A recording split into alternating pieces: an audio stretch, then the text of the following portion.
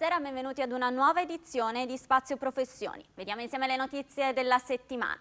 Bene, un testo unico delle tipologie contrattuali, ma stiamo ben lontani dalla necessaria semplificazione normativa che gli operatori economici si attendevano dal disegno riformatore del Job Act. Con queste parole il presidente di Conf Professioni Gaetano Stella ha aperto il suo intervento alla Commissione Lavoro del Senato durante l'audizione sugli schemi del decreto per il riordino delle tipologie contrattuali e delle misure per la conciliazione dei tempi di vita e di lavoro. Una relazione che ha toccato numerosi punti di interesse, segnalando rischi e opportunità sugli assetti occupazionali delle diverse realtà economiche e produttive. Bene il contratto a tempo parziale, considerata la forte incidenza femminile nella popolazione degli studi, che ha permesso infatti di conciliare tempi di vita e di lavoro. Positiva inoltre la facoltà conferita alle parti sociali di prevedere un utilizzo a causale del lavoro supplementare in un'ottica di semplificazione dell'istituto. Tuttavia i limiti imposti all'utilizzo del lavoro supplementare delle clausole elastiche e flessibili in mancanza di una regolamentazione collettiva appaiono troppo stringenti.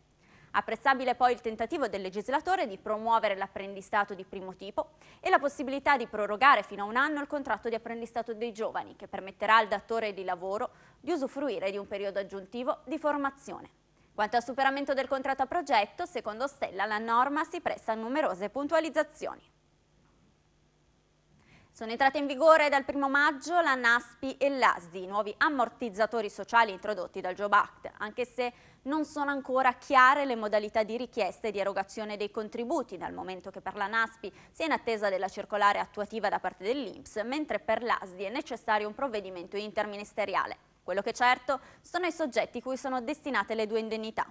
La NASPI infatti è l'indennità riservata ai lavoratori dipendenti, apprendisti e soci di cooperative che perdono il lavoro. Sono esclusi i dipendenti della pubblica amministrazione e gli agricoltori, soggetti a normative specifiche. Sentiamo altri dettagli nel servizio.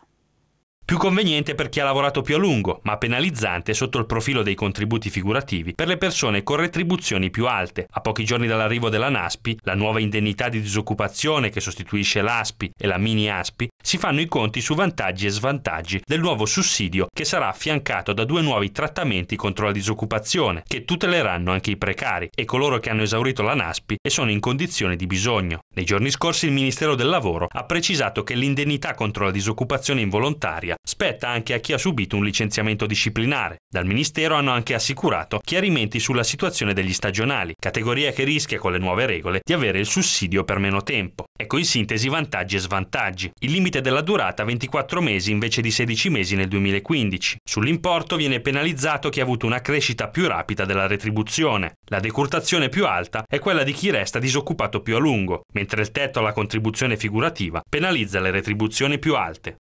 Anche il Presidente della Repubblica, Sergio Mattarella, è intervenuto sul tema del lavoro, auspicando che la politica trovi delle intese per sbloccare la grave situazione in cui verte il nostro Paese. Sentiamo. La disoccupazione rimane una ferita lacerante del tessuto sociale italiano e va affrontata insieme.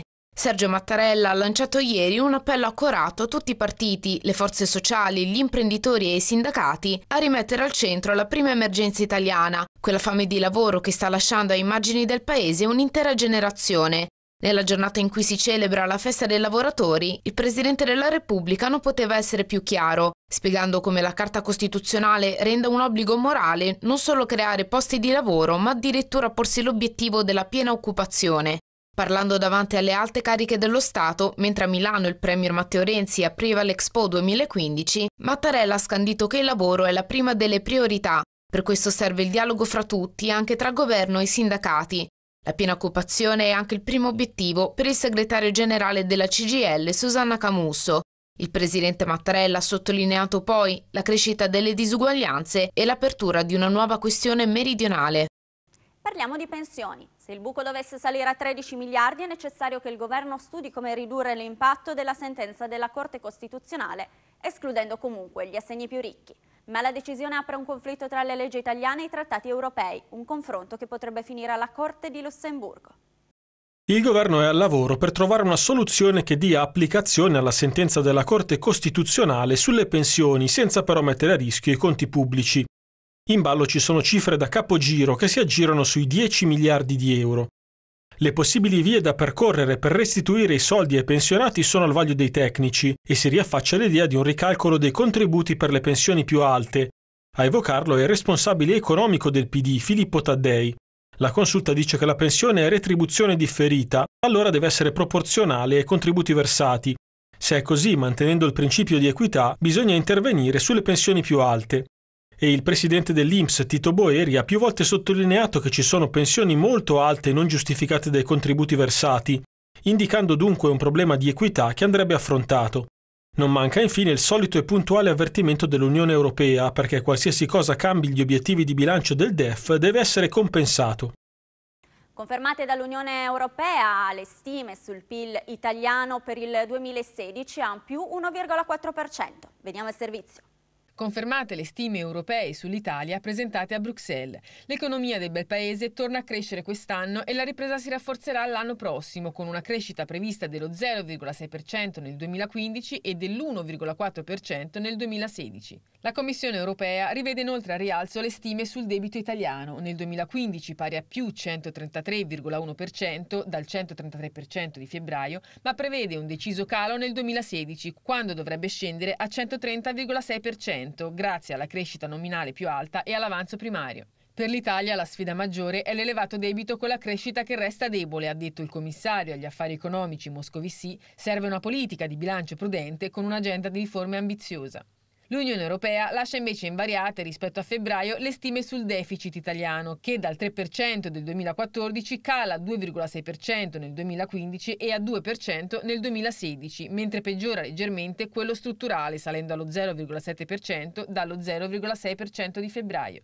Quanto alla disoccupazione, Bruxelles rivede a ribasso le stime di febbraio e aggiorna il 12,8% e il 12,6% di tre mesi fa, con un 12,4% per questo anno e anche il prossimo.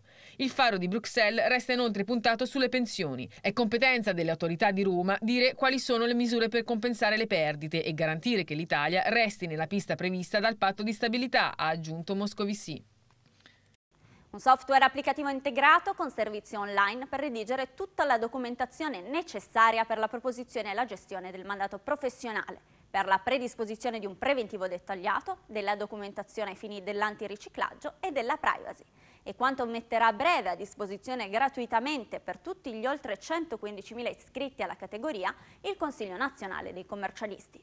Software e servizi online saranno integrati con una serie di rilasci successivi. Il software unisce completezza funzionale a semplicità applicativa, grazie a una serie di menu. L'utilizzatore viene guidato affinché le caratteristiche della prestazione siano puntualmente evidenziate ed esposte nei documenti di sintesi. La possibilità di redigere un mandato professionale completo, esaustivo della documentazione necessaria, renderà il rapporto professionista-azienda chiaro e trasparente a tutela delle parti e garanzia reciproca. Questo è l'obiettivo. Positivo il commento del Presidente del Consiglio nazionale degli architetti, pianificatori, paesaggisti e conservatori, Leopoldo Frieri, alle parole del capogruppo al Senato del PD, Luigi Zanda, che sulla riforma del codice appalti aveva parlato apertamente dell'importanza della progettazione. Se con il nuovo codice finalmente il Governo e il Parlamento decideranno che nelle gare si vince sulla base di criteri di qualità del progetto, non solo avremo buone architetture pubbliche realizzate bene al giusto costo, ma avremo anche inferto un colpo molto serio alle mafie che sugli appalti pubblici hanno costruito le fondamenta della loro economia. Per questa edizione è tutto, vi aspetto il prossimo martedì. Buona serata!